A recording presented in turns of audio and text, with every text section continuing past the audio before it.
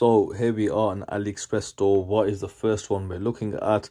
I'll just bring you across to a couple of ones that I haven't spoken about. There's a new uh, pilot watch from San Martin.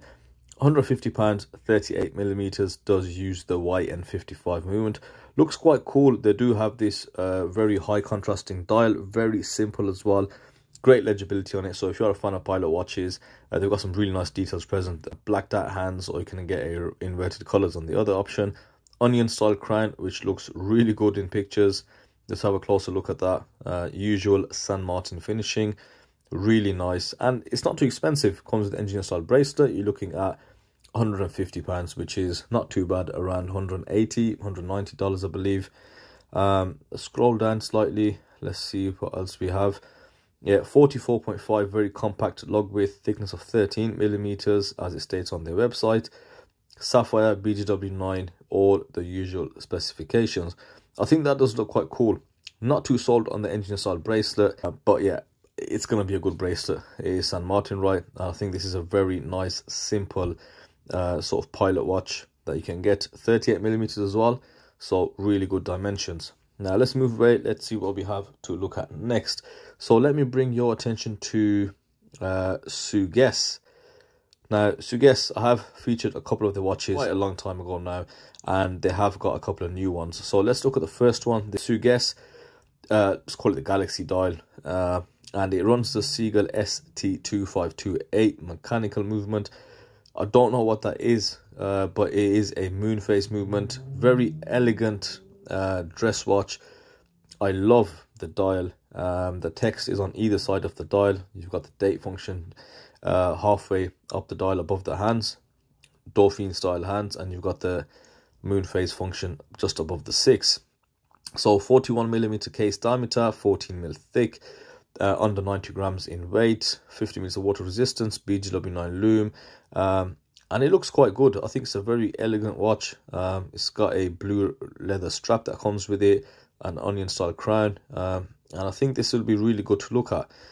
Have they sold any? Yes, 13 orders, all rated 5 star. Just I can show you some pictures. So, another watch channel has reviewed this, really likes the watch that's a stunning dial you know i think i'm gonna try and get this in for review going back to the price sale price of 133 pounds which is 180 dollars i think that's a really good price for something that looks so different so if dive watches aren't your thing i know i heavily focus on dive watches but that's what i like um, that's definitely one to look at so i'm just scrolling down to see some really closer pictures you can just see here I think that looks quite nice fully polished brushing on the sides, some really nice details present. Okay, that's one to definitely check out. Next one is this nice little chronograph, 44 orders, 5 star review. So this is a 40 millimeter chronograph. Uh, it is similar to the 1963 homages that they did, uh, those Chinese military sort of watches. Now this one looks more like a racing dial. Um, you've got tachymeter present on there. You've got these really nice dials at the at the three and six, really bold colors. I love what they've done with this cream color dial variant. As you can see, the hands are in yellow and red. You've got lightning bolt style seconds hand. Um, you've got some really cool looking sub dials. They look like dials on a race car. And you've got some color coding on the tachymeter, red and orange. Looks like a rev limiter. So I think that's a really nice watch. I like what they've done with that dial there. And, you know, with all those orders, full five star. It's quite rare to get that. Uh, it must be a really fantastic watch. So feel free to check this out. It does use the ST1901 movement. Um, and it's a good movement. It's a column wheel uh, Chinese movement and it works really well. Of course, a mechanical chronograph, so you do have to hand wind it. So it looks good. I think it's a definitely good pick if you are interested in something different. Now, moving on to the next one let's see what I have for you. Yes, I've got an Addiesdive for you guys. Now, I've reviewed this watch previously. It's the Retro Vintage Diver. Now, they have gone through a few changes. Um, but what I'll say, but what I will say, the the watch case is superb. I really love this watch case. Um, if you haven't seen the review of the previous models, I'll see if I can show you a, a little clip from it. Um, those twisted lugs look so nice. The case shape is amazing. Uh, the bezel functions really well. Uh, now they've gone for this different style of dial. I think it looks really cool. They have changed the high domes crystal though, uh, which was rather appealing. A bit of a USP for the watch, uh, but they've gone with a top hat style sapphire, as you can see, which still looks good. The lume is not going to be that strong and powerful. Don't let the picture fool you. It is the old radium style lume, so it's going to be a little bit dull uh, and on the bezel, but that's the characteristic of that lume. Now, I like the design. I think they probably got it right. Uh, they haven't gone for those Mercedes style hands. They haven't gone for the sub style markers. They've gone for something different. Does kind of remind me of the Certina, I think DS uh, dive watches uh, with those straight lines, baton markers. But I really like the textured dial. Let's see if I can zoom in slightly, guys. Textured dial. Don't mind the logo too much. I love that red hand. Uh, those sword style hands as well. Date window, 3 o'clock crown. Uh, it does have a polished centre link bracelet, but it's all solid uh, fitted really nicely. It does also come with a leather strap, but you do have a stamped clasp. Uh, 140 pounds you're looking at, which is what is it, 180 dollars? I'll put up the correct pricing anyway. But I think that's a really good watch to look forward to. I think finally they have nailed that dial design, and uh, just have a closer look at that AD2105. I think that is quite a cool looking watch. 46 millimeter log to log, 40 millimeter case diameter uh, and I think that's got really nice dimensions. And the quality of it is really good. I've had this in hand a couple of times. Next on the list I've got one from Mirka for you guys. I did review this watch. It's the 38 millimeter Timex Q homage. Took me by surprise honestly. Upgraded specifications.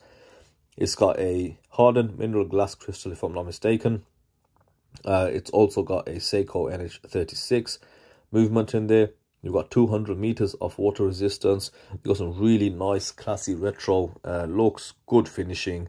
Um, comes with a bracelet which is very vintage. It's not a an amazingly well done bracelet, but it's not meant to be. Got a really nice style. Lume is a bit poor, but again, so was the Timex. Um, it's got integrated lugs. I actually really enjoyed this watch. I gave it away to a friend of mine, so I don't have it here. Um, but you know, it's definitely one that I would have kept. Um, I love the dimensions on it. Thin case, good compact log to log. and the pricing of this watch is 96 pounds 130 dollars so if you're looking for something truly vintage inspired uh, you know really good uh, fit on the wrist um, and you know it's the watch that they say timex should have made uh, so the timex killer so really nice looking watch i gotta say i was very impressed by this from Mirka okay now let's have a look at the next one. Uh, Cadisen Sport. Let's find the Cadisen Sport. Um, yes. So very budget price here, £65 um, you're looking at, which is going to be around $88. It does, however, feature the Miyota 8000 series movement. Um, I've had a few Cadisen watches. They're all built well. The lume isn't amazing, but it's okay. And this is a sporty looking watch. It's got 32 orders. All five star people seem to be very happy with it. 39 millimeter diameter case thickness at 11.5 which i'm not too sure about uh, because they do kind of um, put down less on the thickness. They don't seem to include the case back or the crystal sometimes but it's got really good looks. As you can see here milled clasp decent bracelet polished center links see-through case back and i think the dial looks nicely done. Uh, polished and brushed case. I think that's a nice nice watch. Different enough uh, and like i said it hasn't really tried to go up has it? It's you know under eighty dollars. So around eighty dollars, you get a really good looking watch. But you also got the backing of you know 32 orders with a five star review rating. So that's one to consider. Now, I'm going to mention some golden oldies. Um, first and foremost, let's talk about the tuna. Price wise, from Steeldive, you're looking at £82, so just over $100. I think if you look for something really retro, Steeldive do an amazing job. Great lume, um, NH85, you know, decent bracelet. It's not the best. Uh, you know, the bezel rotation is a bit 50 50.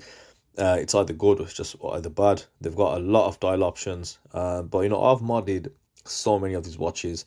You can't complain for the price at all. Uh, very solid and it's got those, you know, typical tuna style looks. Um, and everything else is good about it. Like I said, bear the price in mind, uh, but it still is a good watch. I'd also like to mention at the same time, while we are here, Captain Willard Good Old SD 1970. The Steeldive Captain Willard.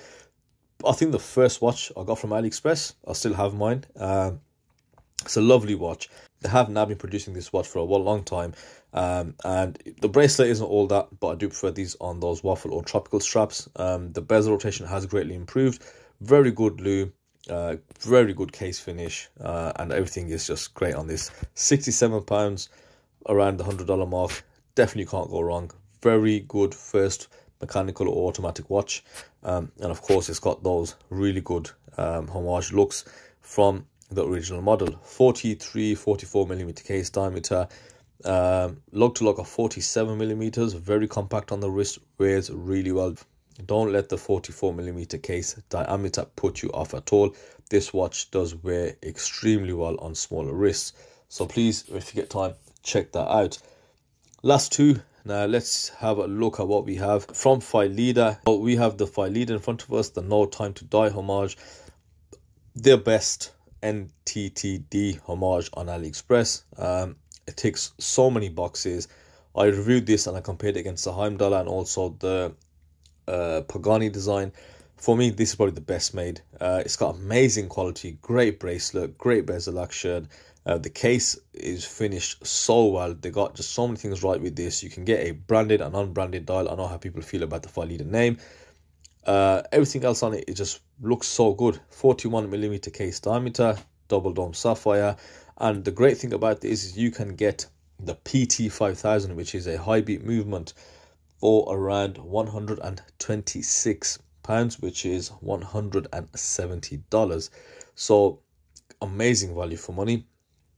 200 meters of water resistance.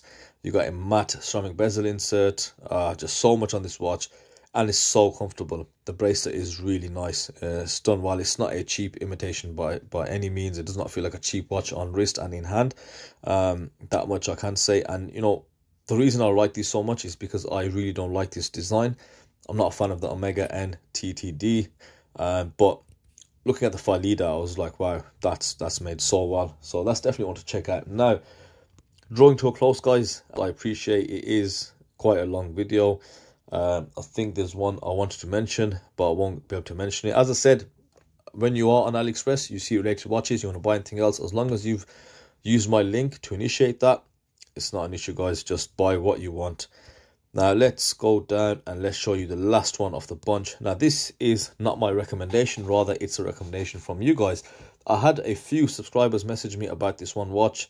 Um, you know, people have bought it are are loving it. So let's look at the price first and foremost. You are looking between 75 and 88 pounds. Now, one is NH35 and one is the PT5000. That is just on that point to get a PT5000 movement for $118. 87 pounds is unheard of on AliExpress yet. It's absolutely crazy. I think the movement should be probably half the price, if not more, of this watch. Uh, and as you can see, it's a 62mas style watch. They store, they have a lot more different homages out there. But, you know, on a nice classical design like the 62mas PT5000 for, you know, around $120. Amazing specs. Ceramic, sapphire, but the dimensions are quite off. They are, I believe, it's the same case as the Heimdallr 62mas. You got a 41 millimeter case diameter, a 50 mm log to log, quite large. Um, you know, I think it's 50 mil log to log. And a 15 and a half mil case thickness due to the box style sapphire crystal. Um, specs wise, fantastic value for money. Um, this is probably going to have a knock on effect on some retailers now because they've yet dropped the price again. So, but for consumer yourselves, great news. Okay, so that was the last watch uh, that I've got to mention on my recommendations. So thank you guys for watching. As you can see, as I showed you, there is a lot of great options. This time around, guys, just try and focus on getting good value for money. Don't just blow money on a cheap watch. Doesn't matter if it's £100, £90 and you just think it's cheap. If it's got flaws, it's not all what you want, feel free to look around. There's a lot of watches here in a really competitive price bracket uh, that will give you great value for money. So remember, please use those links in the description. Start using them as soon as the sale kicks off and just buy some really good pieces for yourselves. Let me know in the comments what you purchased uh, and hopefully everything comes safe and sound. It's all working, great QC. Thank you guys for watching and I'll see you on the next video.